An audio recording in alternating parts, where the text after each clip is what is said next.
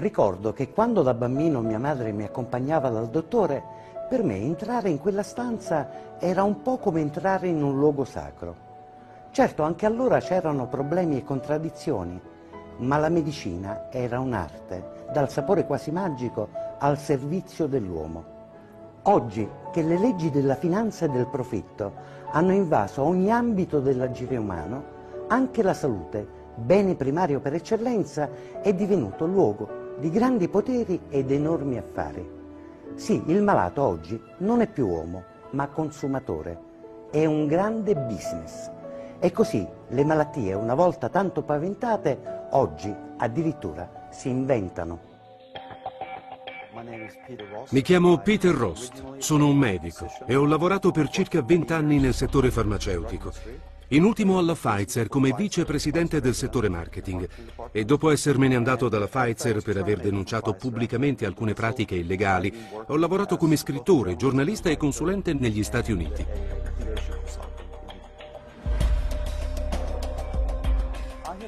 Ho definito il settore farmaceutico una specie di mafia intendevo dire che, esattamente come il crimine organizzato, il settore farmaceutico è stato dichiarato colpevole di reati molto grossi e ha pagato multe di miliardi di dollari.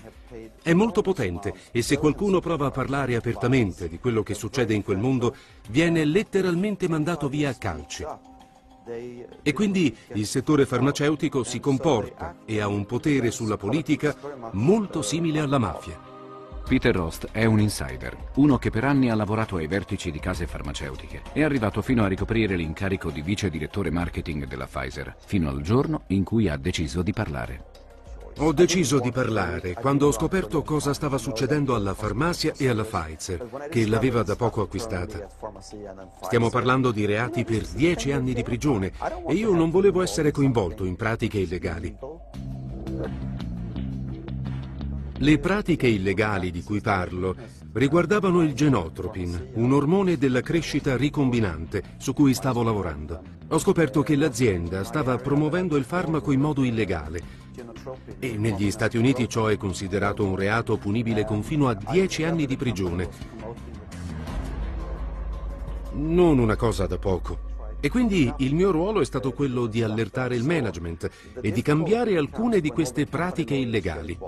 A quel punto sono sorte le difficoltà, perché si sono presentati gli avvocati dell'azienda e mi hanno detto che tutto andava bene, di non preoccuparmi, ma io continuavo ad avere delle preoccupazioni e le evidenziavo puntualmente.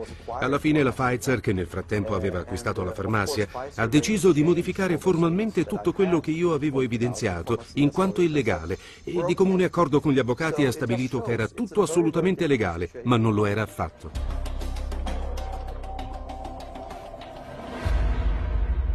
A Wall Street non importa quanti soldi fai o quali sono gli utili che riesci a ottenere. L'unica cosa che interessa a Wall Street è quanti utili in più farai l'anno successivo. Perciò si instaura una specie di circolo vizioso, per cui i tuoi successi passati, l'enorme successo ottenuto con un farmaco importante, significano che devi fare ancora meglio con i nuovi farmaci, anche se non hai niente in cantiere. E ciò spinge le aziende a fare cose illegali, cose che non dovrebbero fare. Un malanno. Vecchio luogo comune ormai debellato dalla scienza moderna. La salute non è che una parola che dovremmo per sempre cancellare dal nostro vocabolario. Per conto mio non conosco che gente più o meno insidiata da malattie più o meno gravi, da malattie più o meno violenti.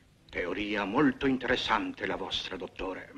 Teoria molto moderna, mio caro Musquet. Questo signore è il protagonista di una commedia francese degli anni venti dal titolo Il dottor Nock e il trionfo della medicina. Provate a chiedere al dottor Nock cosa pensa delle persone sane. Le persone sane sono malati senza saperlo. Il geniale dottore manipolerà l'intera comunità con l'obiettivo di far credere malato chiunque si trovi in buona salute. Come ha fatto il dottor Nock a convincere tutti? Una buona strategia di comunicazione, malattie poco classificabili e dai sintomi ambigui, alcuni complici e la coscienza molto, molto sporca.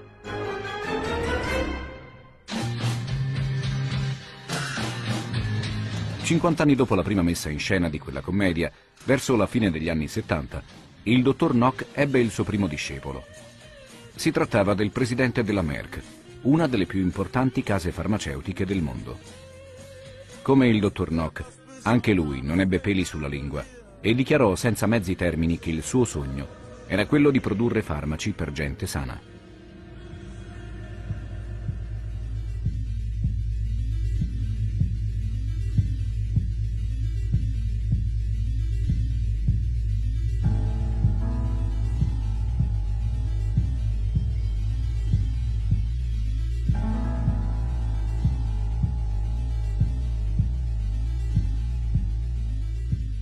Vendono paura. Paura di invecchiare e paura della morte.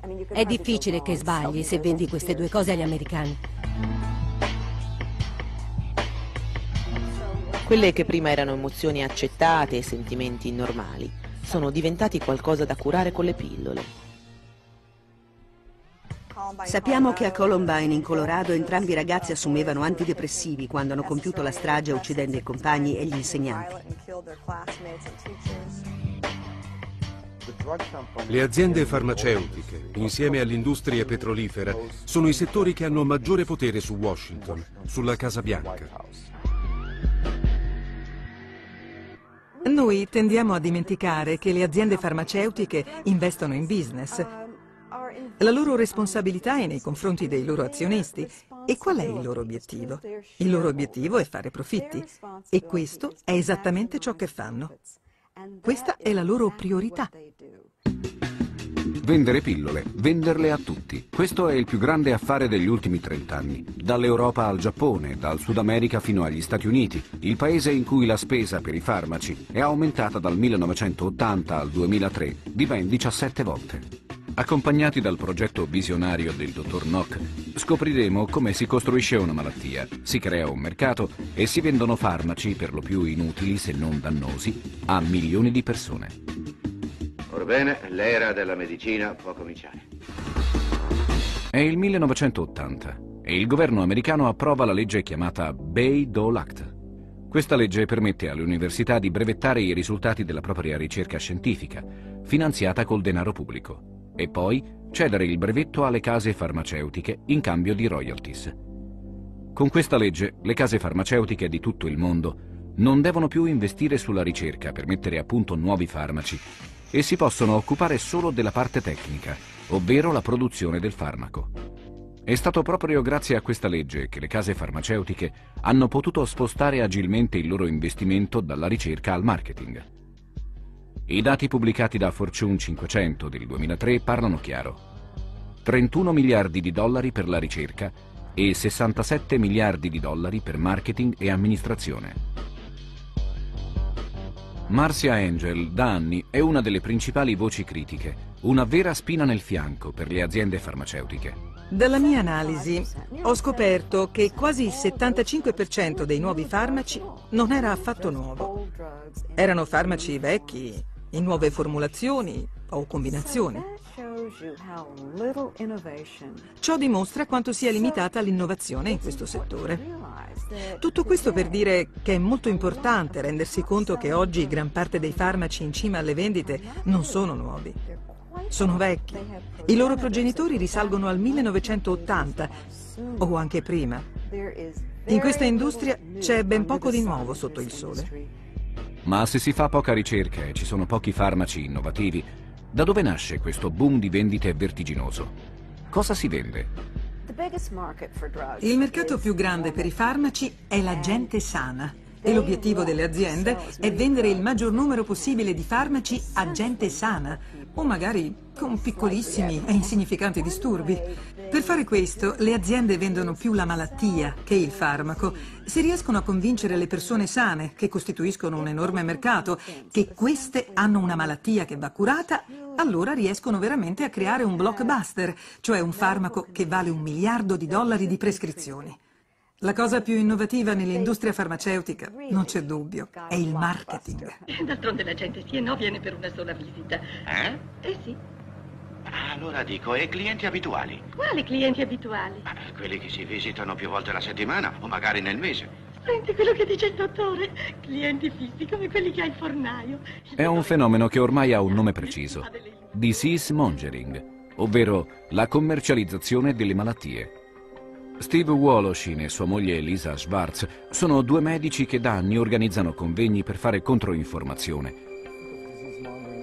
Il disease mongering riguarda la definizione di malattia e portato agli estremi si traduce in creazione di nuove malattie e consiste nel prendere normali sensazioni ed esperienze delle persone e definirle malattie, dando così per scontato che queste malattie necessitano di cure farmacologiche.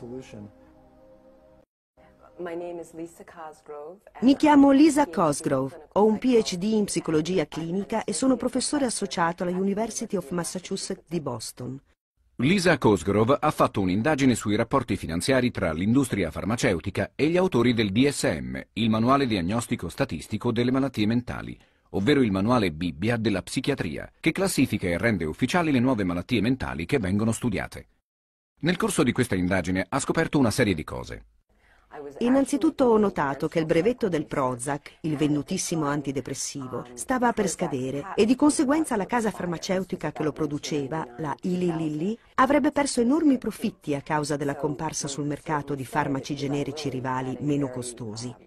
Era chiaro che la Ili Lilly aveva un forte interesse a trovare un nuovo disturbo per il quale prescrivere il Prozac. Dopo del tempo ho poi notato che veniva massicciamente pubblicizzato un nuovo farmaco, il Sarafem, per curare una nuova malattia, il disturbo disforico premestruale. Questo disturbo non è altro che quella tensione e nervosismo che alcune donne provano nei giorni precedenti l'arrivo delle mestruazioni. Secondo alcuni è una malattia molto invalidante che andrebbe curata con i farmaci. E così è stato.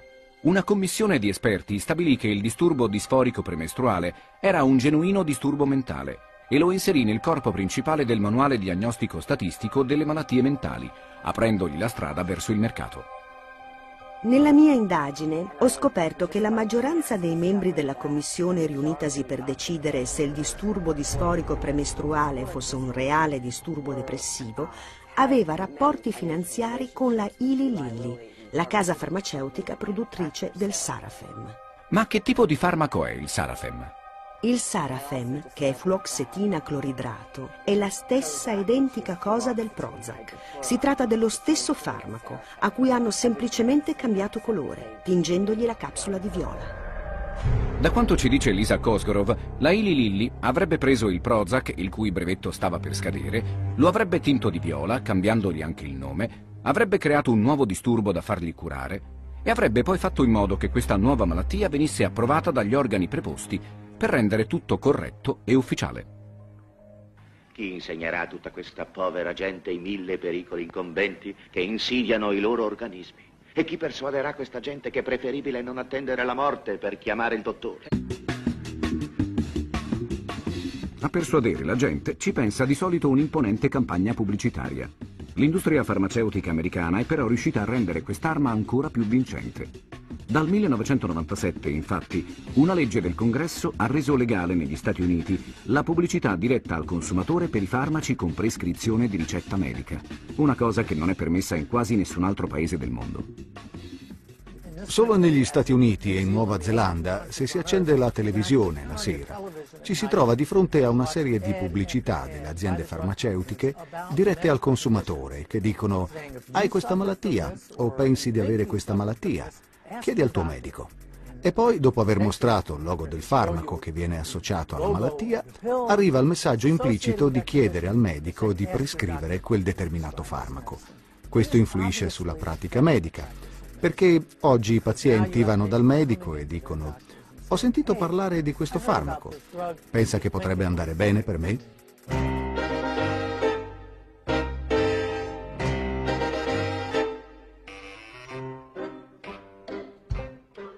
C'è una seconda strategia che anche quella mira ad aumentare i consumi ed è quella di giocare su quelli che si considerano i livelli di normalità. Il problema riguarda il colesterolo. Una volta la colesterolemia normale era considerata 240, poi è diventata 220, poi è diventata 200 e adesso si dice che bisogna avere il colesterolo più basso possibile. Come dice Silvio Grattini, fondatore dell'Istituto di ricerca Mario Negri, l'ipercolesterolemia è diventata una delle principali paure per la salute di milioni di persone, le quali, spaventate dal rischio di infarto, si sono riversate in farmacia facendo diventare il Lipitor, con vendite per 10 miliardi di dollari l'anno, il farmaco con obbligo di ricetta medica più venduto di tutti i tempi. Peccato che il colesterolo alto c'entri pochissimo con il rischio di infarto che tutti temono. Recentemente sono stati pubblicati due studi che indicano che questi farmaci possono abbassare il livello di colesterolo, ma non riducono il rischio di problemi cardiaci. E questo è incredibile se pensiamo che sono stati spesi centinaia di milioni di dollari in pubblicità per indurre la gente a pensare che questo era il farmaco giusto per chi era più a rischio di infarto. Se ti sta a cuore il tuo cuore, fallo proteggere dal tuo medico. Contro i rischi di infarto, chiedegli il Lipitor. La strategia per allargare il mercato dei farmaci non è quella di rivolgersi solo alle persone con rischi cardiaci, ma anche di considerare a rischio le persone semplicemente con colesterolo alto. Secondo le direttive degli Istituti Nazionali per la Salute, negli anni 90 13 milioni di americani avrebbero avuto bisogno di curarsi con le statine per abbassare il colesterolo. Nel 2001 una commissione di esperti ha riformulato queste direttive, facendo salire il numero a 36 milioni. Nel 2004 un altro comitato di esperti ha aggiornato ancora le direttive. Oggi risultano 40 i milioni di americani che avrebbero bisogno di curarsi per abbassare il colesterolo. Ci sono disturbi che vengono veramente commercializzati, dei quali fino a poco tempo fa nessuno aveva mai sentito parlare. Per esempio il disturbo d'ansia sociale. Prima avrebbe potuto essere definito timidezza, mentre oggi viene diagnosticato e ci sono farmaci specifici per combatterlo.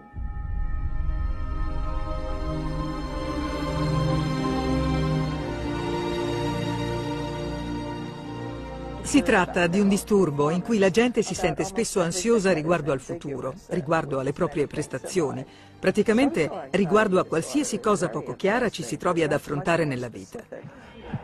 Che ti succede? Noi sappiamo come ti fa sentire il disturbo d'ansia sociale, ma il Paxil ti può aiutare. La dottoressa Rapoport è uno dei tanti medici che propone la soluzione più diretta, la pillola antidepressiva. I farmaci funzionano se sei depresso. Non ha importanza se hai la schizofrenia o problemi di ansia o solo la depressione. I farmaci sono comunque utili.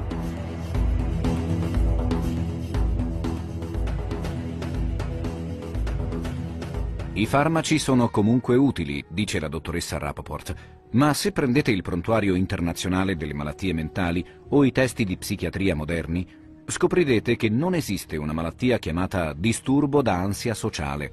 Al limite troverete un raro disturbo chiamato fobia sociale. Quello che è successo è che la GSK, produttrice del Paxil, nel giro di 18 mesi, grazie ad una formidabile campagna di comunicazione, ha preso questo raro caso chiamato fobia sociale, lo ha rinominato, definendolo più genericamente disturbo, ci ha aggiunto una parola oggi molto di moda, cioè ansia, e lo ha trasformato in un'epidemia che affligge un americano su otto. Il risultato è stato che il Paxil, con 3 miliardi di dollari l'anno, in poco tempo, è diventato l'antidepressivo più venduto al mondo. Più di 10 milioni di persone soffrono di disturbo d'ansia sociale. Il Paxil ti può aiutare. Paxil, la tua vita ti sta aspettando. And Paxil, Paxil, your life is waiting. Alison Bass, pubblicando il libro bomba Side Effects, ha portato alla luce gli effetti collaterali di molti farmaci e ha svelato gli innumerevoli conflitti di interesse in campo medico. Voglio raccontarvi la storia di una ragazza di 15 anni del Texas, Tania Brooks. Era timida e si sentiva a disagio con i ragazzi della sua età. Lei vide in tv una pubblicità del Paxil in cui c'era un ragazzo della sua età che prendeva questo farmaco. Improvvisamente diventava molto amato dai suoi coetanei e non aveva più problemi a relazionarsi. Allora lo ha detto a sua madre che l'ha portata dal medico di famiglia e gli ha chiesto del Paxil. E questo medico non sapeva niente degli effetti collaterali e così le ha prescritto il farmaco e la ragazza ha sviluppato tendenze suicide e ha tentato di suicidarsi molte volte. Fortunatamente l'hanno presa in tempo. Si è provocata un'enorme ferita sulla gamba, ma l'hanno portata in ospedale e non è morta dissanguata. ed è stata fortunata perché non è riuscita a suicidarsi mentre assumeva il Paxil. Ora sta bene, ha 20 anni e non prende più farmaci. Il suo è un caso fortunato, ma purtroppo non è sempre così. Quello che è successo per il Paxil è un esempio di quell'oscuro capitolo che riguarda gli effetti collaterali di questi farmaci per disturbi mentali, che si sono diffusi così in fretta ovunque e per milioni e milioni di persone. Da 15 anni è in corso una causa tra alcuni pazienti e la casa farmaceutica produttrice del Paxil, la GlaxoSmithKline. Ad avviare questa causa è stato un avvocato di Los Angeles, che ha deciso di sfidare le sette sorelle di Big Pharma. Grazie a lei sono stati portati alla luce e resi ufficiali tantissimi dei conflitti di interesse che abbiamo visto fino ad ora. Chi pagherà per i danni però ancora non si sa. Mi chiamo Karen Bart Menzies e faccio l'avvocato a Los Angeles, dove seguo molte cause legali contro le aziende farmaceutiche. Ho iniziato con la causa contro la GlaxoSmithKline per il Paxil dai primi anni 90. Il Paxil è stato lanciato sul mercato alla fine del 1992 e dopo pochi anni sono iniziate le cause che riguardavano i potenziali effetti collaterali come il suicidio. Solo in un secondo momento sono emerse le gravi conseguenze che hanno colpito un consistente numero di persone. La GlaxoSmithKline era a conoscenza dei gravi effetti collaterali quali suicidio, dipendenza, malformazioni neonatali, già prima che il farmaco venisse lanciato sul mercato. Quindi quello che abbiamo scoperto nel corso della causa è ciò che l'azienda già sapeva e le cause legali sono state l'unico modo per andare a verificare all'interno dell'azienda ciò che la Glaxo già sapeva. Abbiamo scoperto due cose molto importanti. La prima è che attraverso gli studi non riuscivano a dimostrare l'efficacia del Paxil rispetto a un placebo. Il secondo punto che abbiamo scoperto vedendo i trial clinici è che gli studi indicavano che i bambini che assumevano il Paxil sviluppavano tendenze suicide e omicide e anziché comunicare questi effetti collaterali agli organi di controllo, alla classe medica e ai genitori, la GlaxoSmithKline ha pubblicato gli studi in modo fraudolento, come se il Paxil fosse sicuro ed efficace per i bambini. Viene da chiedersi cosa succede una volta che una casa farmaceutica ha perso una causa. Quanto dovrà pagare? Quanto ha guadagnato nel frattempo in tanti anni di vendite? Le aziende in questo lasso di tempo guadagnano miliardi di dollari per cui vale la pena di nascondere questi rischi il più a lungo possibile in modo da fare più soldi possibili, acquisire quote di mercato e fare profitti anche se con le cause legali magari un giorno dovranno pagare forti somme di denaro. In ogni caso andranno a liquidare la controversia e pagheranno una multa con un importo che è solo una frazione minima rispetto ai soldi che hanno guadagnato prima del termine delle cause legali.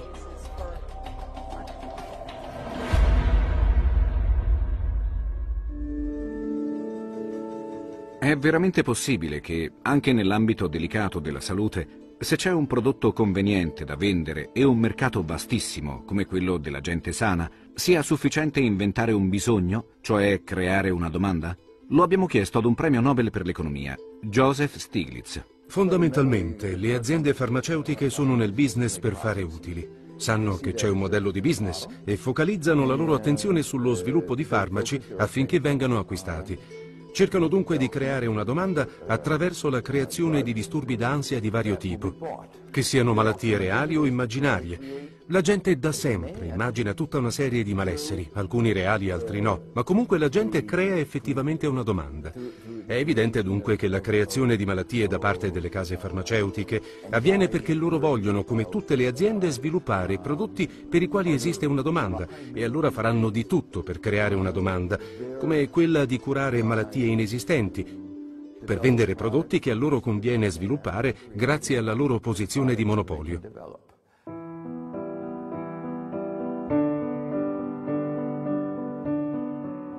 Il disturbo da deficit di attenzione e iperattività, detto anche ADHD, è un disturbo che rende il bambino più iperattivo e distratto dei suoi coetanei. Questo disturbo colpisce dal 3 al 5% dei bambini europei e direi la stessa percentuale negli Stati Uniti.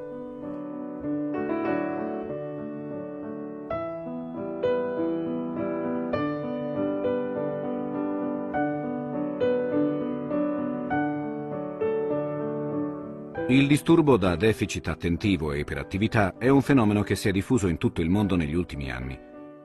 Ci sono molti casi, anche gravi, che sono stati curati farmacologicamente aiutando i bambini e le loro famiglie. Si tratta di bambini iperattivi, spesso geniali, ma di difficile gestione per la famiglia o la scuola. Quello che poi è successo è che le case farmaceutiche ad un tratto hanno deciso di spingere molto sulla commercializzazione di questo disturbo, facilmente equivocabile con la vivacità dell'infanzia e preadolescenza. Il risultato è stato un moltiplicarsi vertiginoso di casi in tutto il mondo. In un libro chiamato Our Daily Med, ovvero La nostra medicina quotidiana, l'autrice Melody Peterson spiega con esempi e casi specifici come il marketing del farmaco ha creato milioni di pazienti in pochi anni. Gli psicologi che ho incontrato nella mia ricerca mi hanno detto che sono pochissimi i bambini con problemi reali e in questi casi i farmaci possono essere di aiuto, ma il marketing va ben oltre. Il tentativo costante da parte delle aziende di allargare il mercato fa sì che ai genitori venga detto che un bambino agitato, che non riesce a stare fermo in classe, potrebbe avere la DHD e agli insegnanti viene detta la stessa cosa. Quindi genitori e insegnanti sono sempre allerta per individuare i bambini che non stanno fermi, che non riescono a studiare e si discute sul fatto che questi bambini possono avere la DHD. Perciò il problema non è che questi farmaci non aiutano la minoranza di bambini con problemi, ma che il marketing va troppo oltre. In alcune scuole i ricercatori hanno scoperto che il 25% dei bambini prende i farmaci per la DHD e questo ti fa veramente pensare con preoccupazione a che cosa succede in queste scuole, visto che gli studi indicano che solo il 5% dei bambini americani è affetto da ADHD. Il Ritalin, il farmaco blockbuster, il più noto tra i tanti che curano la DHD, ha aumentato le sue vendite dell'800% negli ultimi 15 anni, curando anche chi non ne aveva bisogno. Altri farmaci simili lo hanno seguito. La strategia per allargare il loro mercato è stata quella tipica. Innanzitutto pubblicità diretta al consumatore per vendere la malattia. Questo annuncio indica una serie di cose che qualsiasi genitore vorrebbe. Un compito in classe all'altezza della sua intelligenza, amici che lo vogliono nel gruppo, momenti in famiglia che durano per ore. Una vera soluzione alla ADHD. Questo annuncio parla dei normali risultati che qualsiasi genitore si augura per il proprio figlio. Per cui se ci tieni a tuo figlio e vuoi ottenere questi risultati, devi prendere questo farmaco. La sindrome di deficienza di attenzione e di iperattività dei bambini, eh, che può avere dei casi estremi in cui eh, è difficile controllare un bambino, eh, però non può essere poi attuata a livello di milioni di bambini come sta succedendo negli Stati Uniti. Eh, l'anomalia è questa, cioè è quella di estendere eccessivamente il campo di intervento rispetto a quelli che sono invece i pochi casi in cui forse ci sarebbe bisogno di fare qualcosa. Le case farmaceutiche, se vogliono che una malattia si allarghi a macchia d'olio, hanno anche bisogno della complicità dei pazienti stessi. Fioriscono così un po' ovunque le cosiddette associazioni di pazienti. La CHAD è l'associazione più importante che rappresenta le persone affette da deficit attentivo e iperattività. La dottoressa Casey è convinta della sua utilità. Un esempio di organizzazione è il CHAD. Questa associazione di pazienti è stata molto efficace nel portare a conoscenza delle famiglie con bambini con ADHD le più recenti evidenze scientifiche, i protocolli più aggiornati. Ma dietro alla CHAD non ci sono solo le famiglie e i pazienti. Il CHAD, che è un gruppo di aiuto per l'ADHD, è totalmente finanziato dalla casa farmaceutica Novartis, produttrice del Ritalin. La Chad alla fine ha ammesso di ricevere circa 700 mila dollari l'anno dalle case farmaceutiche e in pochi si sono scandalizzati. Il programma di allargamento del disturbo da deficit attentivo a milioni di bambini è riuscito, con il risultato che milioni di famiglie in tutto il mondo, non solo negli Stati Uniti, hanno per anni somministrato ai loro bambini quantità industriali di droghe stimolanti, spesso per farli andare meglio a scuola. Ma non deve essere bastato. Infatti ad una certa età i bambini in cura diventavano adulti e la cura finiva. E così la Shire, un'altra casa farmaceutica, in un convegno di banche d'affari a New York, ha annunciato con orgoglio ai suoi investitori la nascita di un nuovo mercato che avrebbe garantito vendite di farmaci per molti anni a venire. Si trattava del DDI, ovvero il deficit da attenzione degli adulti. Così, dall'oggi al domani, un nuovo potenziale di 8 milioni di nuovi malati affetti da difficoltà nel concentrarsi appariva sul mercato. Il farmaco era già pronto. Questo annuncio dice che avere problemi di concentrazione sul lavoro è un problema medico, che necessita di una soluzione farmacologica e implica che Vivance può guarire questo problema. Anche questo annuncio è un esempio di come si possano ampliare i confini della malattia ed esagerare i benefici del farmaco. Finora abbiamo visto malattie i cui parametri o definizioni sono state ampliate per massimizzare il mercato e vendere, nel migliore dei casi, fiumi di farmaci spesso inutili. Ci sono però malattie che non esistono e non sono mai esistite, per le quali milioni di persone oggi si curano, ovviamente con farmaci. A questo punto ogni casa farmaceutica può lanciare sul mercato la propria malattia e commercializzare il relativo farmaco.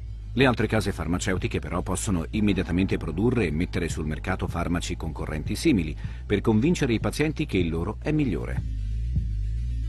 Questi farmaci sono il più grande affare che l'industria farmaceutica abbia mai fatto. Si chiamano farmaci Me Too o farmaci fotocopia.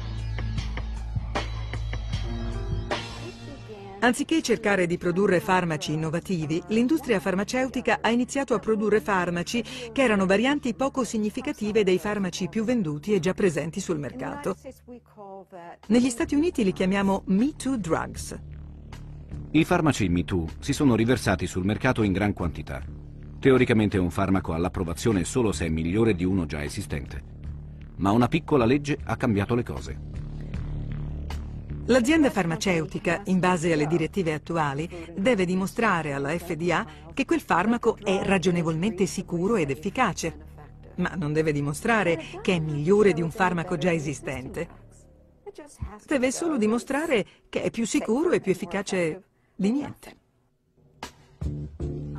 Le aziende farmaceutiche fanno un sacco di lavoro prima dell'approvazione del farmaco e lo fanno perché gli analisti di Wall Street le controllano e appena il farmaco viene approvato, Wall Street si aspetta che le prescrizioni vadano alle stelle.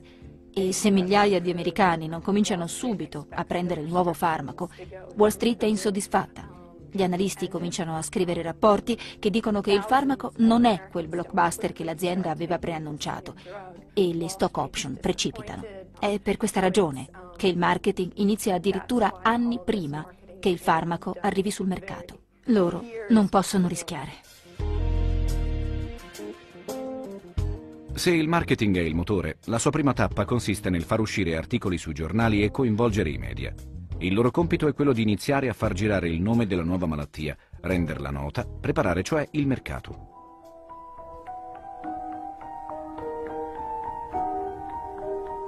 Poi, subito dopo, scendono in campo le agenzie di pubblicità, organizzatissime macchine mediatiche specializzate nell'ideare campagne di lancio di nuove malattie e relativi farmaci sono campagne da milioni di dollari.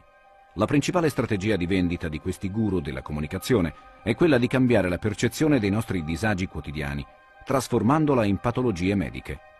Convincerci, cioè, che una fase problematica della nostra vita, che avevamo sempre considerato un normale passaggio biologico, psicologico, come la timidezza, la paura, l'adolescenza, la menopausa, l'invecchiamento, siano da prendere seriamente in considerazione a livello medico.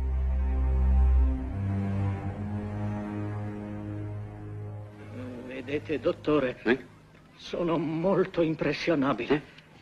Eh? E se vedo quella roba, non ci dormo la notte. Ah, ed è questo che ci vuole. Eh, intendo dire, sono quelle le impressioni che dobbiamo suscitare fin nelle viscere dell'uditorio.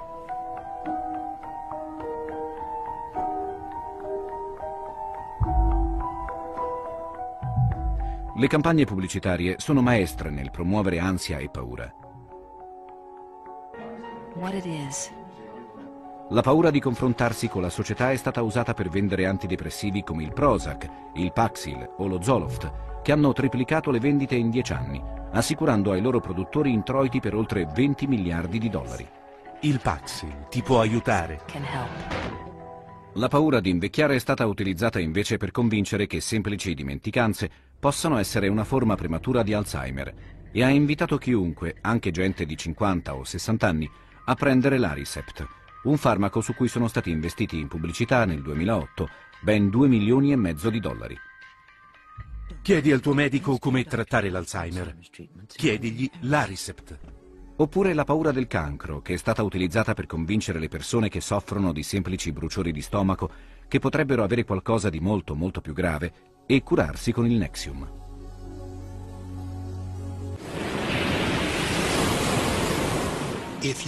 L'azienda che produce il Nexium è riuscita nella pubblicità a far passare il messaggio che se la si lascia andare, questa malattia, che poi sarebbe il reflusso, può con il tempo diventare cancro dell'esofago, una cosa seria. Quindi è meglio che prendi il Nexium. Nexium. Gli articoli sui giornali e la successiva campagna di comunicazione hanno lanciato il brand. La nuova malattia esiste. Ora è il momento di lavorare sul fulcro del sistema, l'elemento più delicato e determinante, il crocevia del sistema di marketing delle nuove malattie, il medico. Il dottore! Come avete fatto a vivere fino adesso? Se nessuno qui chiama il medico.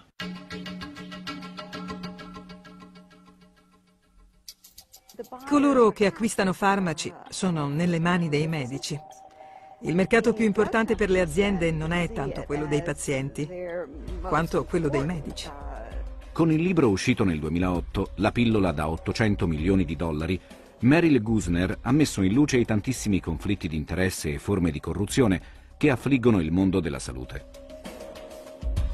L'azione di marketing diretta ai medici è immensa. Si tratta ogni anno di oltre 50 miliardi di dollari che vengono investiti per convincere i medici, qualcosa come il 20% del fatturato farmaceutico. È una cifra enorme se ci pensate. La EMC, che sta a dire il corso di educazione continua di medicina, è il corso di aggiornamento che i medici negli Stati Uniti devono seguire ogni anno per mantenere la propria licenza. Bene, il 50% dei soldi investiti dalla EMC provengono dall'industria farmaceutica. Questo avviene perché spesso questi corsi di aggiornamento sono tenuti da professori universitari che hanno un secondo lavoro nelle aziende farmaceutiche. Sono consulenti, conferenzieri, pagati appositamente dalle aziende sono i cosiddetti leader del settore medico, che stilano le linee guida della pratica medica, che svolgono i programmi di educazione continua in medicina, che pubblicano le recensioni nelle riviste mediche e poi ammettono, sì, sono consulente della Pfizer o della Glaxo o di qualsiasi altra azienda farmaceutica che produce il farmaco per la malattia della quale sto parlando. Alison Bass, a seguito di alcune informazioni ricevute da fonti attendibili, poi comprovate dalla magistratura, ha portato alla luce il caso di un noto primario, Martin Keller. Il mio libro spiega dettagliatamente come Martin Keller, il capo di psichiatria alla Brown University, riceveva personalmente centinaia di migliaia di dollari dalle stesse aziende farmaceutiche che producevano i farmaci che lui stava studiando e di cui parlava nelle riviste mediche. Keller non ha reso noto questo conflitto di interessi né alla sua università né alla NIH, National Institute of Health, che finanziava la sua ricerca sulla depressione. Questo è un problema molto diffuso in tutto il mondo. Ci sono tanti medici che ricevono un mucchio di soldi dalle aziende farmaceutiche e che non rendono pubblico il loro conflitto di interessi.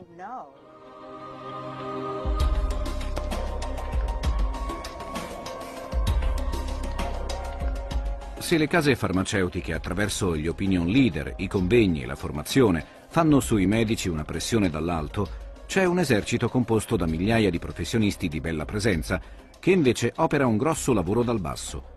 Sono i rappresentanti farmaceutici, con le loro armi seduttive, adulazione, amicizia, premi, regali e tanti campioni gratuiti. Questa è la storia di Michael Dani, che a 21 anni viene assunto dalla Pfizer come informatore farmaceutico. Io non sapevo niente dell'industria farmaceutica. Ho fatto il colloquio e sono rimasto sedotto. Soldi, macchina, prestigio. Avrei potuto usare il mio background scientifico e avrei dovuto parlare con i medici. Non dovevo vendere, ero un consulente. Il rapporto con il medico per Oldani era tutto. Lo doveva sedurre, incalzare, stargli simpatico. Il farmaco non era al centro delle loro chiacchierate, anzi, meno se ne parlava e meglio era. Se un medico fa amicizia con un informatore, il medico, anche inconsapevolmente, comincia a prescrivere quel farmaco.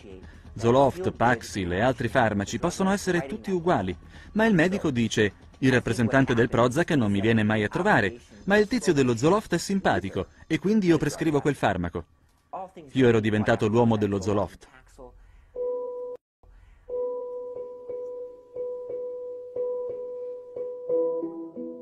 Un farmaco normalmente viene approvato per curare un certo disturbo, ma la casa farmaceutica spesso cerca di promuoverlo anche per disturbi per cui quel farmaco non è approvato. Questo fenomeno è il cosiddetto uso off-label di un farmaco, cioè fuori approvazione. E questa è una pratica illegale. Negli anni 90 non si parlava di queste cose. Se un farmaco non era approvato era tecnicamente illegale. Agli informatori farmaceutici fu dato il compito di allargare il mercato e promuovere i farmaci anche per altri utilizzi non approvati. Per esempio, lo Zoloft è legalmente approvato per la depressione, ma noi dovevamo convincere i medici a utilizzarlo per altri usi che vanno oltre la depressione. Quindi lo abbiamo promosso per i disturbi da panico e per un nuovo disturbo, il disturbo disforico premestruale, e questo prima che ci fossero le indicazioni per questi disturbi. La nostra strategia era furba. Facevamo una grande quantità di mailing di informazioni cliniche ai medici presenti sul territorio e mandavamo un articolo scientifico una volta a settimana, per sei mesi, a una ventina di medici dicendo che lo Zoloft curava anche il panico, anche se non era vero, perché questa indicazione per la cura del panico non era affatto stata approvata. Comunque sia, la Pfizer raggiunse il suo obiettivo. Pochi mesi dopo, lo Zoloft era pronto per curare una nuova malattia chiamata disturbo disforico premestruale.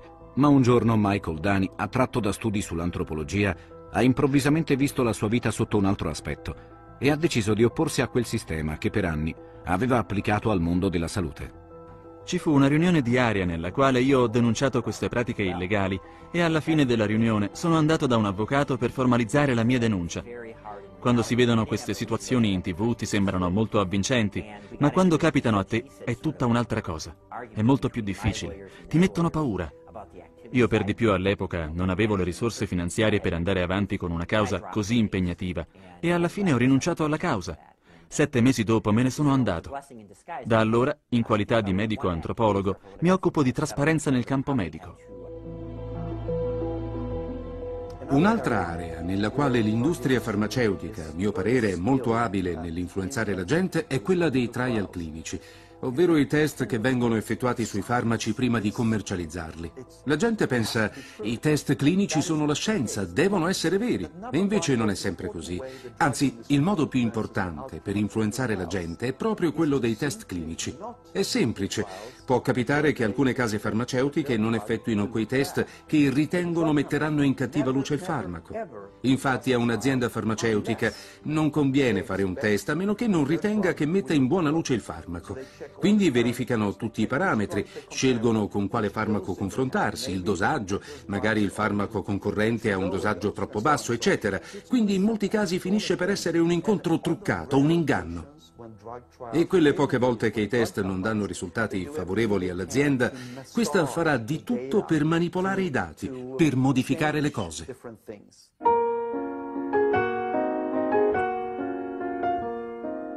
Qui seri ossessivi, perdere le staffe. Credo che questi siano sintomi che ciascuno di noi ha provato almeno una volta nella vita. Che la sindrome bipolare sia diventata una malattia largamente diffusa grazie alle grandi campagne di comunicazione ci può a questo punto sembrare quasi normale. Ma ciò che ha trasformato questo disturbo in un mostro farmacologico aberrante è stata la sua applicazione ai bambini. All'età di 3 o 4 anni è impossibile stabilire se un bambino è semplicemente difficile o se ha un disturbo bipolare e deve essere curato con i farmaci. E poi è incredibile perché non sappiamo quali siano gli effetti collaterali a lungo termine per quasi tutti i farmaci recentemente approvati.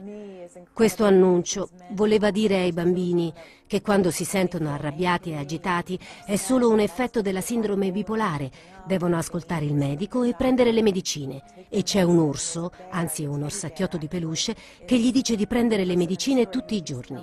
È un libro per bambini di 11 anni. Dice al bambino che se si sente agitato, molto arrabbiato o non riesce a controllarsi, non è normale, ma ha una malattia. C'è qualcosa che non va e l'unico modo per controllarsi è prendere le medicine. Secondo me mina la capacità del bambino di evolversi come persona, di moderare le sensazioni di perdita di controllo.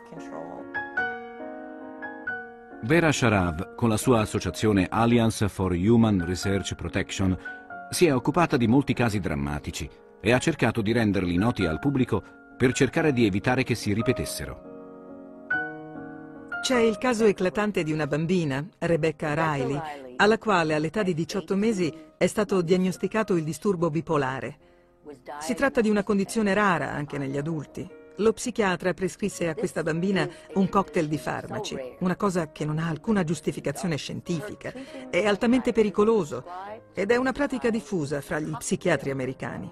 Le fu dato un antipsicotico, il Seroquel, un farmaco antiepilettico e anche tutta una serie di altri farmaci. E all'età di 4 anni la bambina è morta per una reazione tossica ai farmaci.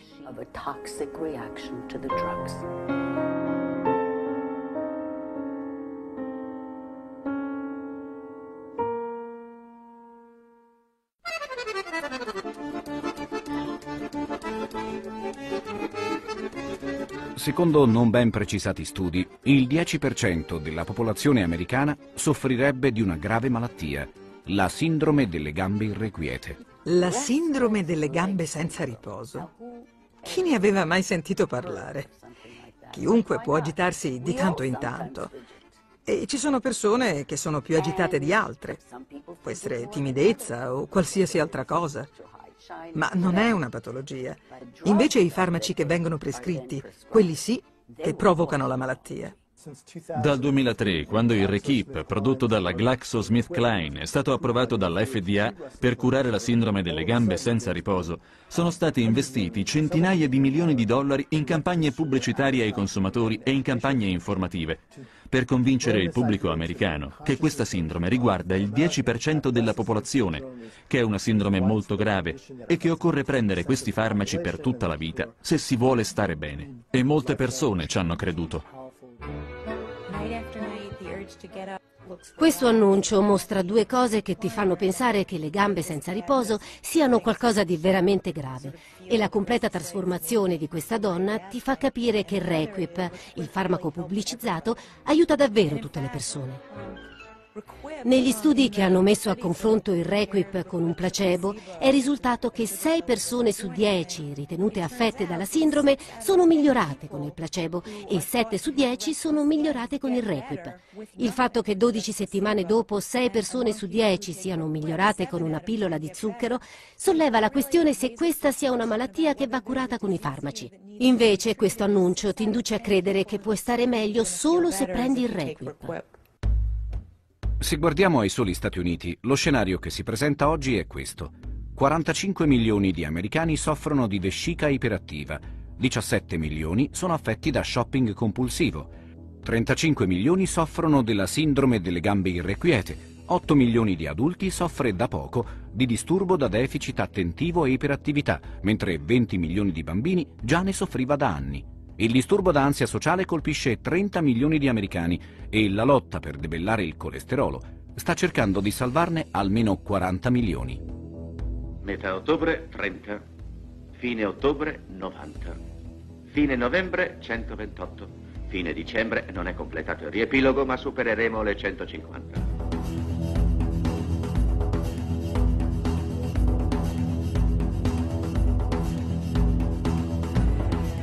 Oggi il dottor Nock, o meglio la sua stirpe, è a capo di un business che nei cinque continenti fattura più di 500 miliardi di dollari l'anno. Se dovesse parlare ai suoi pazienti, sparsi ormai per tutto il mondo, potrebbe dire più o meno così. Certo, i farmaci prescritti sono cari, ma questo dimostra quanto sia alto il loro valore. Inoltre le spese che sosteniamo per la ricerca e lo sviluppo sono enormi e in qualche modo bisogna pur coprirle. Noi siamo delle società che producono per voi un flusso costante di medicine innovative che vi allungano la vita, vi rendono più felici e vi fanno stare bene. Voi siete i beneficiari di questa continua conquista del libero mercato. Siate dunque riconoscenti, smettetela di lamentarvi e pagate. A chi tocca ora?